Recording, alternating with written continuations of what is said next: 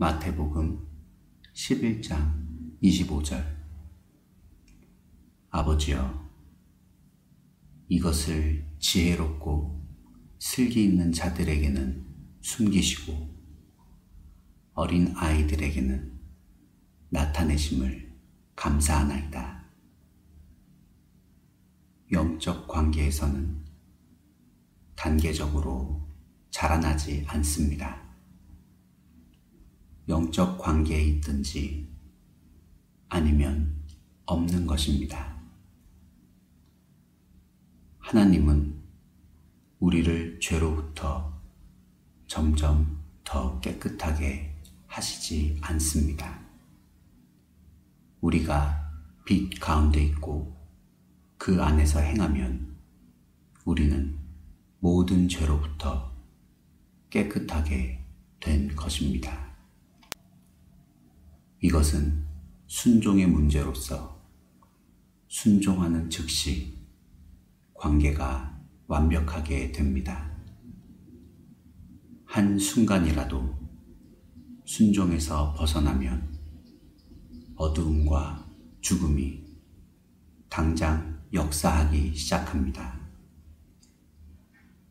하나님의 모든 계시는 우리의 순종에 의해 열릴 때까지 봉하여져 있습니다. 철학이나 사고를 통해 그 계시들을 열 수 없습니다.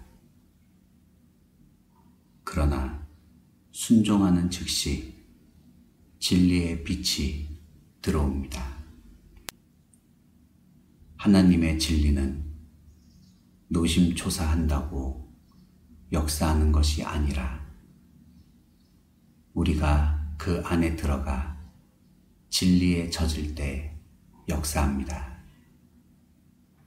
하나님의 진리를 알 수 있는 길은 찾아서 되는 것이 아니라 거듭나야 알 수 있습니다. 주님께서 당신에게 보여주시는 것들을 순종하십시오. 그러면 즉시 그 다음 진리가 열립니다. 한순간에 과감한 순종이면 태양빛처럼 분명하게 깨달을 수 있는 것을 순종은 뒤로 하고 성령의 사역에 대해 방대한 책을 읽으며 나도 언젠가는 이런 일들을 이해하게 되겠지 라고 말하는 사람이 있습니다.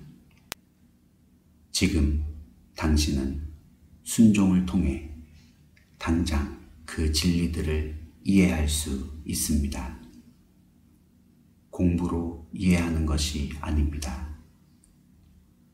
아주 작은 순종이라도 그것에 의해 하늘이 열리며 당장 하늘의 가장 깊은 심오한 진리가 당신의 것이 됩니다. 당신이 이미 알고 있는 것들을 순종하기까지는 하나님은 절대로 자신에 대한 더 깊은 진리를 보여주시지 않습니다. 스스로 지혜롭고 슬기로운 자가 되는 것을 조심하십시오.